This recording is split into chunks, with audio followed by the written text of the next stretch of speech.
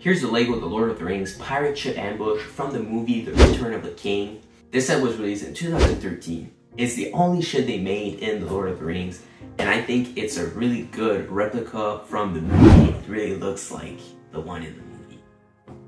So first off, I'll start with the box art. So as you can see, it looks really good. You have like the battle happening.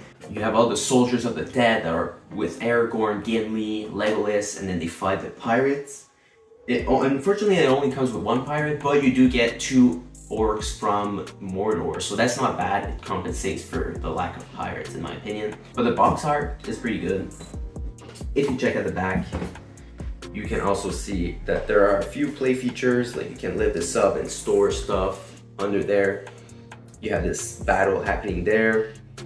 You have missiles that can shoot torpedoes.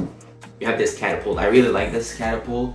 I remember when I was younger, it was like, I was like super impressed by it. it it's not actually like in the movie, but it's just a nice add-on that, that you can also use for other battles, let's say. So it's good for playability, right? Let's say you have like orcs fighting Gondor, you can use that catapult, which I think is pretty neat. Then you have all these minifigures as well.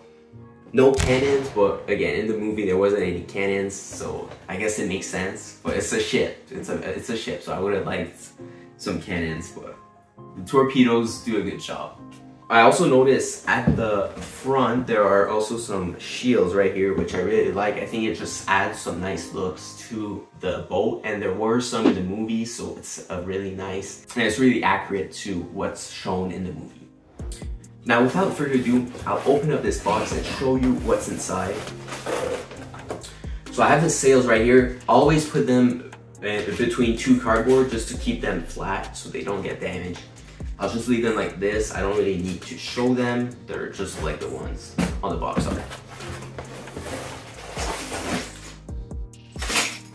Now I'll just pull out everything but what I really want to show you guys are the minifigures. I think that's what's important.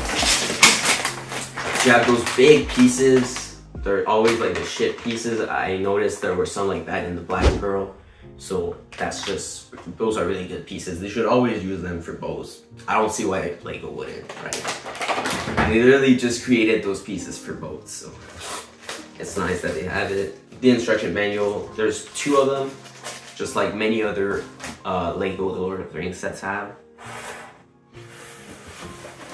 And,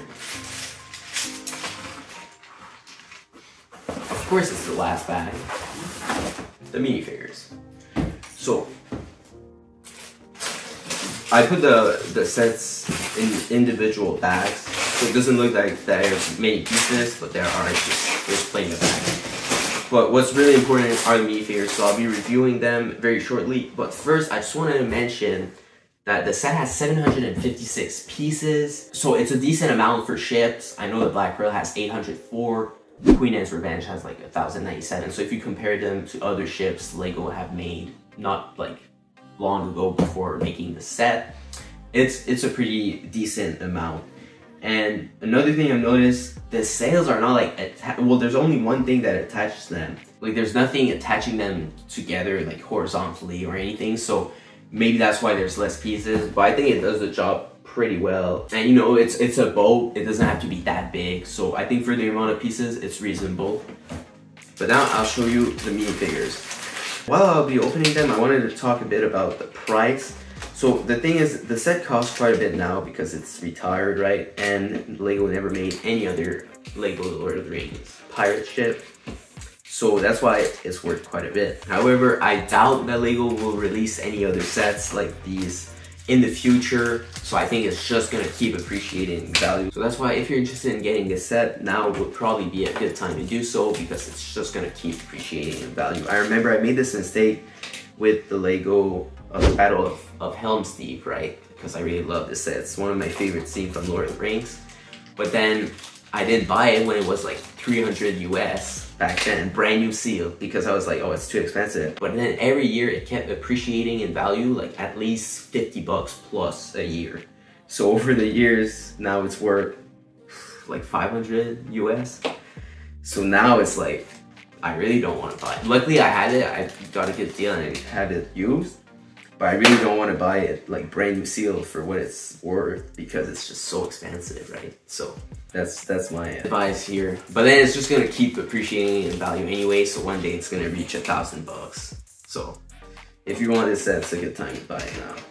Alright, so I have all the mini figures lined up, so now it's time to do a close-up and show you all those magnificent, detailed minifigures. Alright, so as you can see right here, we got all the minifigures and they look incredible. That's another thing I really love about the set is the amount of minifigures they put for back in the days, I think it was a $103 set.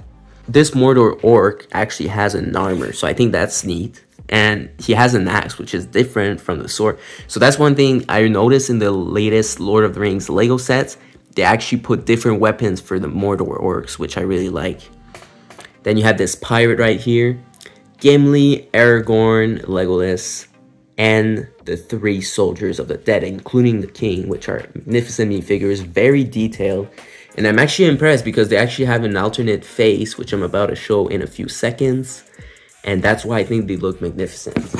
Okay, so here are the minifigures from the back. They have alternate faces, like I said. All of them actually, except the Mordor orcs, like usual. But I think it's really nice. Lego actually like surpassed themselves for the Lord of the Rings sets, I think. Especially that they were released in like 2012, 2013. And Lego back then didn't really put that much details in like the alternate faces and everything. So that's why I think Lord of the Rings sets are like the greatest. And even to this day, they're still really good.